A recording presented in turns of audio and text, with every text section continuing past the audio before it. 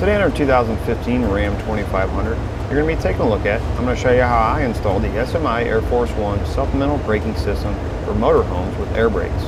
Part number SM99243. Here's a look at the main component of our braking system. The actuator is going to provide a proportional force on our brakes in our towed vehicle.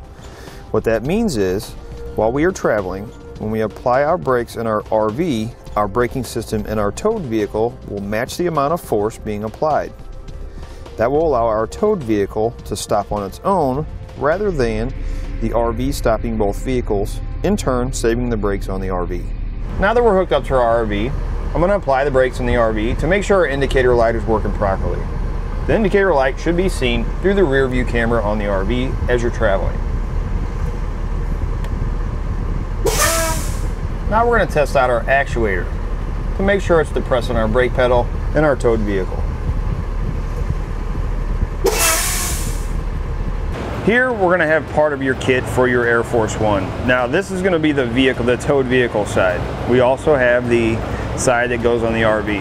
I want to go over what's going to go on with the vehicle. Here we have the operating unit. This is what's going to send the power from your RV when the brakes are applied into your towed vehicle and applies the brakes in the towed vehicle. How it does that, you have two air ports here. Because we have a diesel, we're not going to be using the vacuum line. It has a hydro boost brake system.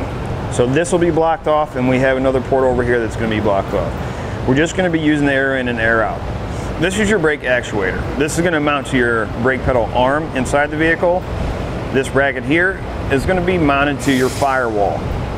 How this works is the airline tube that's running from your operating unit is going to run into the top of this cylinder. And when, this, when the brakes are applied in the RV, when the car is being flat towed, it's going to put pressure, air pressure inside this cylinder and it's going to spread it like this. When it does that, it actually is going to pull the brake pedal towards this bracket. So if you notice that line moving, that's how the brakes are applied in the towed vehicle.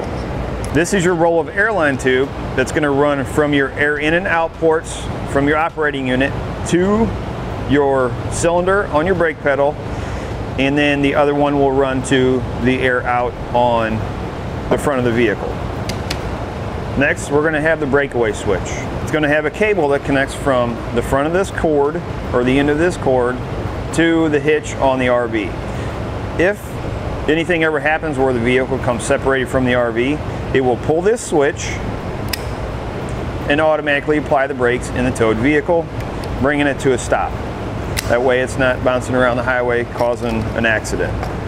To mount this or your breakaway switch and your uh, air outlet, I suggest getting a long bracket. It's going to look like this. This is actually going to mount to your base plate. And then what we're gonna do is we'll drill a couple holes and we're actually gonna mount these side by side right on there. This is gonna be our tank for our air. These are gonna be our connections or our T connections for our airlines. And then this is our hardware to mount this uh, wherever we choose. Now this hardware, um, you can change, put bigger washers, longer bolts, whatever it is, wherever you decide to mount it.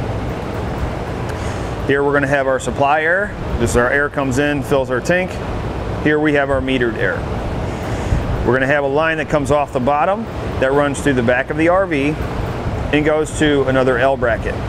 That's where your hose from the front of your towed vehicle to your RV get connected. That's how the air from the RV when you apply the brakes is being sent into the towed vehicle. So what I did is I started with my operating unit. The first thing to do is find a place to mount it. I actually chose to mount mine right on top of my fuse panel, or the lid to my fuse panel. It sits right next to my battery. What I did is I just drilled a hole in the top, a hole in the side. Ran a zip tie through it. Zip ties come in your kit. Um, this side here, I didn't drill through this side because this is where uh, we actually have a bolt that comes up and sits right here. Even though we're running a zip tie through it, I just didn't want to interfere with it at all. So what I did is I drilled a second hole right here. That'll keep it on tight and still give you room to get to any of your fuses. If for some reason this, this will lift up It doesn't lift up all the way because it sits next to your battery.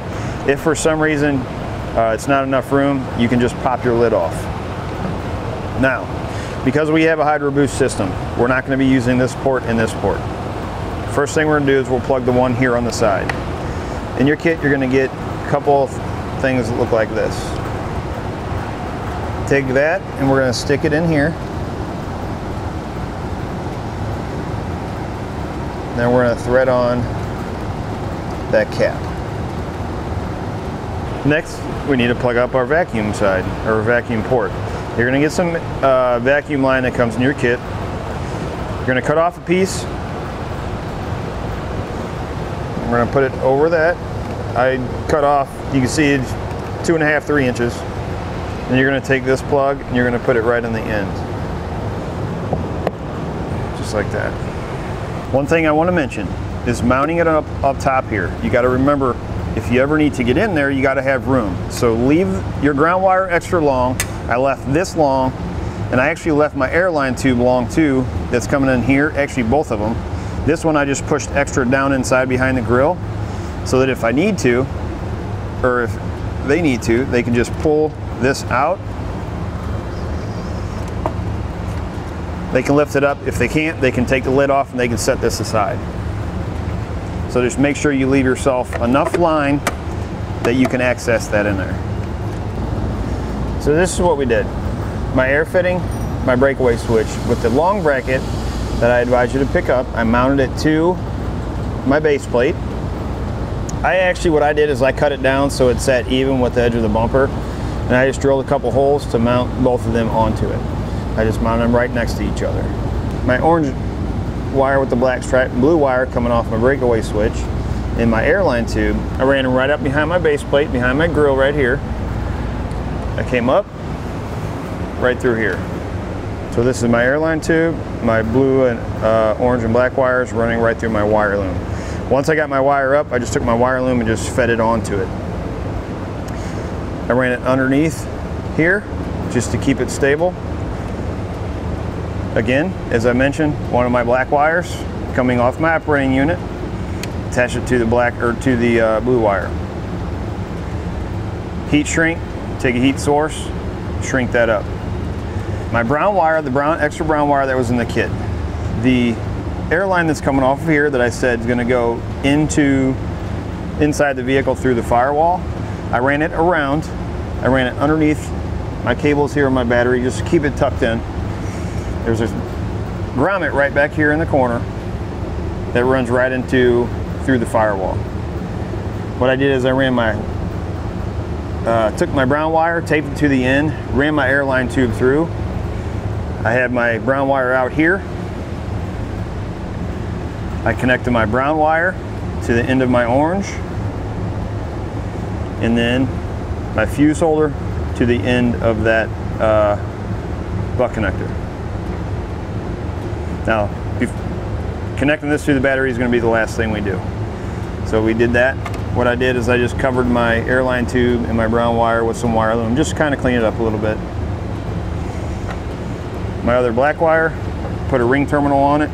I'm going to ground it right here to this body ground. Our outside is basically done, other than doing our ground wire and our fuse holder. We're going to do that last. Now we can move to the inside, hook up our indicator light, our brake actuator, and a reed switch. Before we start installing our lights or our indicator light up top and our wiring down here, I'm gonna pop this panel off right here. You're just gonna pull out on the bottom.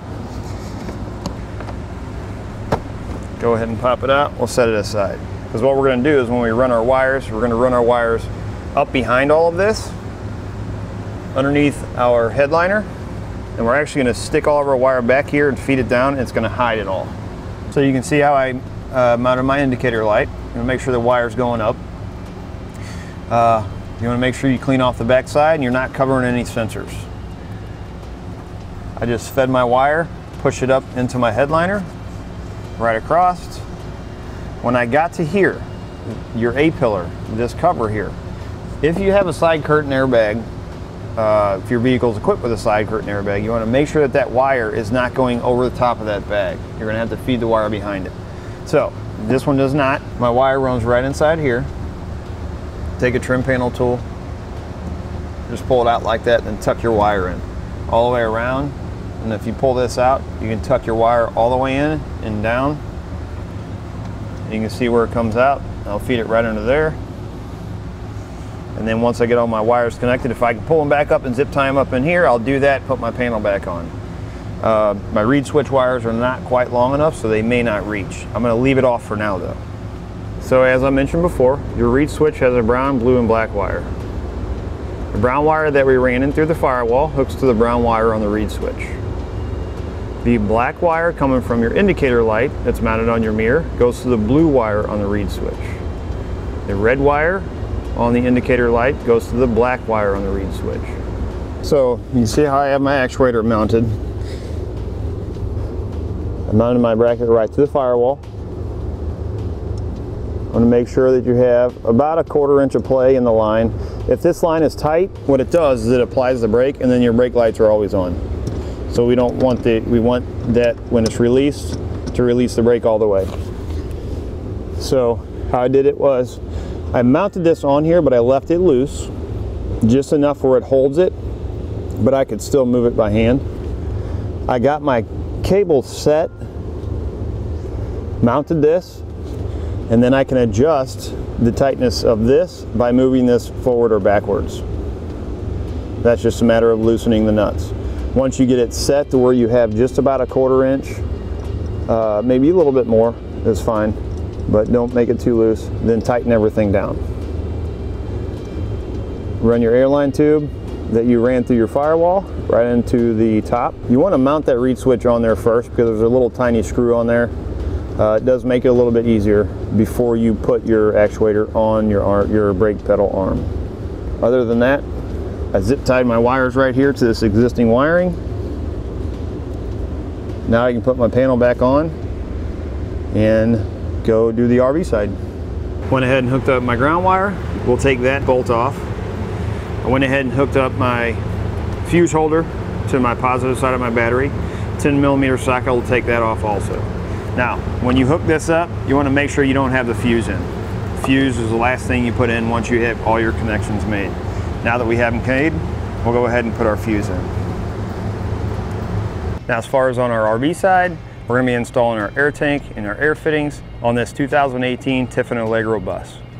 So here underneath our RV, um, our customer had this previously installed, which I showed you uh, at the beginning of the video. Uh, they just mounted it right to this solid uh, wall here. Uh, looks like they use self-tapping screws um, instead of the bolts and nuts and washers that come with the kit. So now we have our supply line our metered air, and then our line that runs back to our T-fitting or air fitting that's mounted on the back of the RV. Our supply line, which goes into the tank, which is this line here. It runs up, and if you follow it up, you see this really thick green hose here. It's going to be the larger of the two before you cut any of these lines, you want to make sure that you let all the air out of the brakes. What I mean is, once you shut it off, you're going to push on the brakes until all of the air on your gauges is out.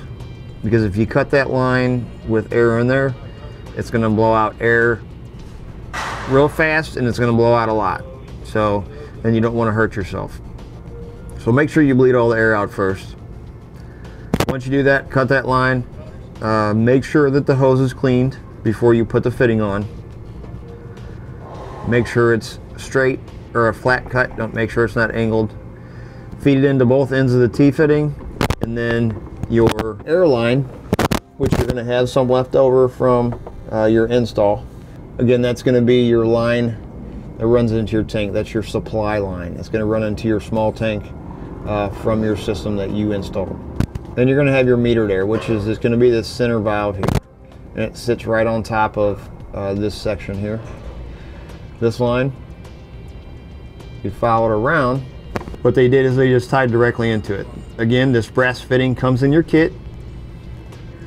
This line right here, uh, if this wasn't here, this would be tied in right here.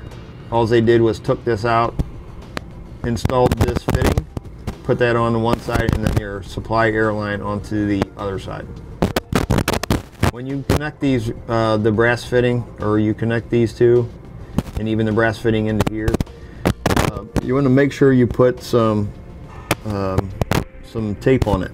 This line is what runs to the back of the RV to the to the L bracket in our air fitting that's going to connect to our towed vehicle or connect the line between our towed vehicle. So this, uh, you can basically route this any way you want to to the back of the vehicle. Just make sure you stay away from anything hot or moving. And then here is the L bracket mounted to the back of the RV. This can be mounted anywhere as long as you leave yourself enough line to get to the back of it. It's going to have a little cap on it like this. You want to make sure you hold on to them so that when you're not using it, you can put that cap back on. It keeps anything from getting inside of this hole and clogging it. And that goes for your uh, Dodge Ram side too, or your towed vehicle side also. Now we're going to hook up our airline. This comes with your kit also. We're going to go ahead and hook it up and test everything out. And I'll do it for a look at an installation on the SMI Air Force One supplemental braking system for motorhomes with air brakes, part number SM99243 on our 2015 Ram 2500.